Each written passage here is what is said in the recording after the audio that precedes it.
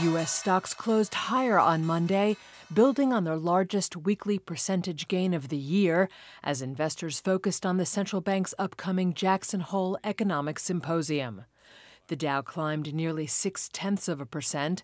The S&P 500 added almost 1%, and the Nasdaq rose roughly 1.4 percent. The S&P and Nasdaq extended their winning streak to 8 consecutive sessions, rebounding from a steep sell-off 2 weeks ago driven by recession fears. Recent data has shown consumer resiliency despite economic softening, boosting expectations that the Fed will start lowering interest rates at its September policy meeting. Chris Carey, portfolio manager at Carnegie Investment Counsel, is among those who will be listening closely to Fed Chair Jerome Powell's speech on Friday for any clues on upcoming cuts.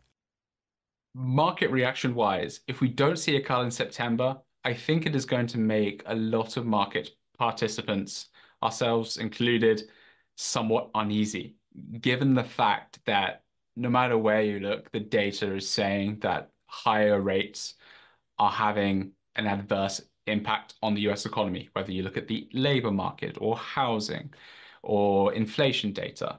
So it will really make us question what the objective of the Fed is and why they can't read the writing on the wall.